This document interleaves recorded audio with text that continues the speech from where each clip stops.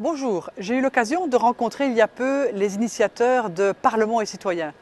Très intéressante initiative qui me touche particulièrement, moi qui suis au Parlement européen en charge de ce qu'on appelle l'agora citoyenne du Parlement européen. En clair, essayer de rapprocher et d'associer euh, les citoyens européens à la décision européenne, mais aussi tout simplement à l'appartenance au projet européen.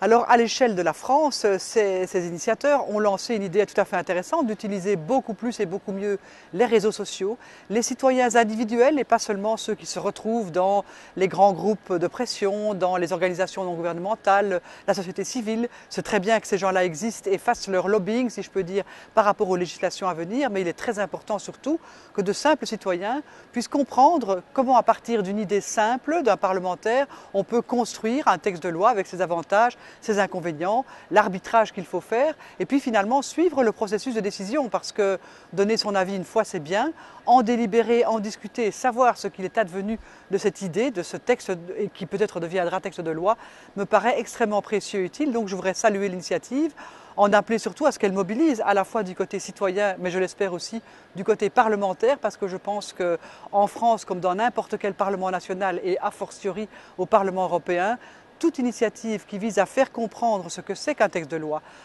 quel est l'intérêt général, comment est-ce qu'on arbitre dans l'intérêt, dans le bien commun, comment est-ce qu'on construit un texte, comment est-ce qu'on se prémunit de ses effets pervers, tout ça fait partie finalement de l'intelligence collective et il vaut beaucoup mieux qu'elle soit partagée, c'est bon pour la citoyenneté, c'est bon pour la démocratie. Merci aux initiateurs de citoyenneté et, et, Parlement et en espérant que cette initiative peu à peu prenne forme, grandisse et trouve des partenaires.